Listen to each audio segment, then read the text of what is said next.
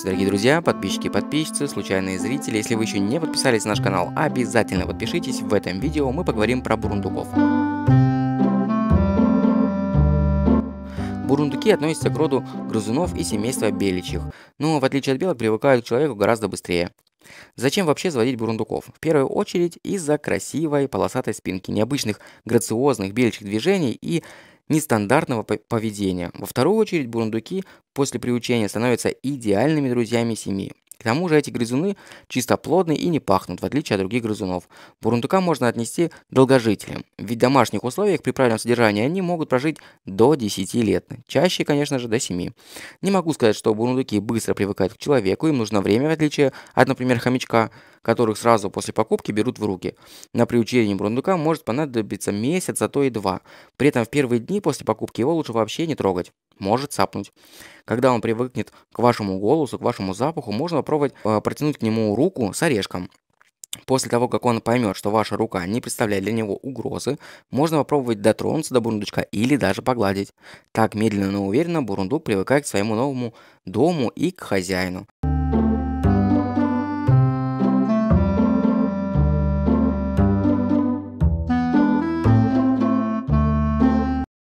Есть и более радикальные методы приучения, о котором я расскажу в другой раз. Для содержания бурундука в домашних условиях понадобится прочная высокая клетка, размеры которой в высоту минимум 1 метр и полметра в ширину, полметра метра в длину. Клетку нужно разместить в тенистом углу комнаты. От прямых солнечных лучей бурундуки часто погибают. На дно клетки необходимо положить наполнитель. Это могут быть крупные опилки, торф или вовсе сухие листья деревьев.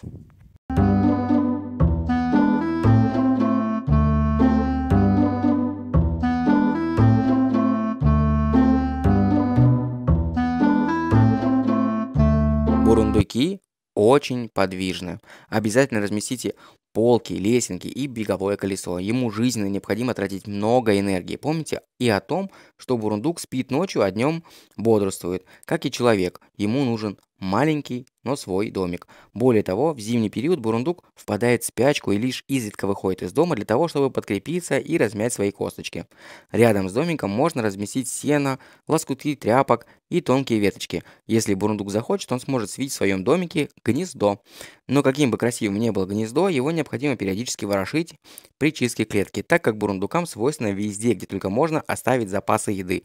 Вообще бурундука можно назвать всеядным в силу своей чрезмерной любопытности. Он может попробовать на зуб все, но это все не все полезно. Основной рацион считается ягоды, фрукты, желуди, орехи, овсяные хлопья, сырые, нежаренные семена подсолнуха и даже травки и цветы. Отмечу отдельно миндаль. Его давать не нужно, впрочем, как и покупные а, полные химикатов фрукты в магазинах. Лучшим вариантом будет продукты, купленные у бабушки на огородах.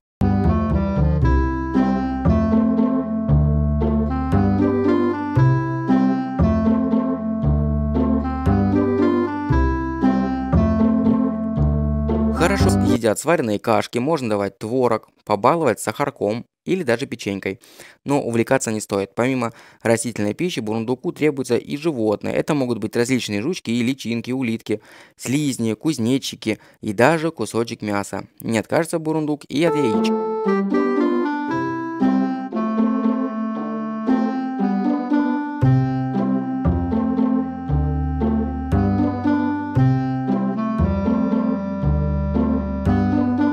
Клетке обязательно должен быть минеральный и соляной камень для стачивания зубов.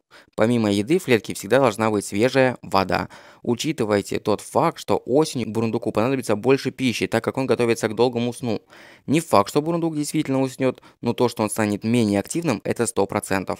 Что касается разведения бурундуков, все не совсем просто. Дело в том, что у бурундуков в зависимости от периодов сильно меняется характер. Так осенью, перед спячкой, они нетерпимы друг другу и держать самку с самцом нужно раздельно. Весной, наоборот, они очень хорошо ладят и готовы к спариванию. После спаривания пару вновь разлучают минимум на 2,5 месяца.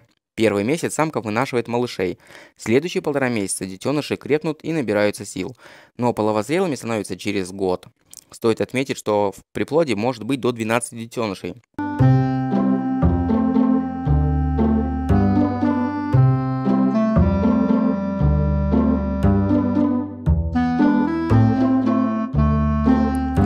Что еще хотелось бы сказать из самого важного, что скрещивание бурундуков, мать и сын, брат и сестра и так далее, приводят к различного рода уродствам, в отличие от других грызунов.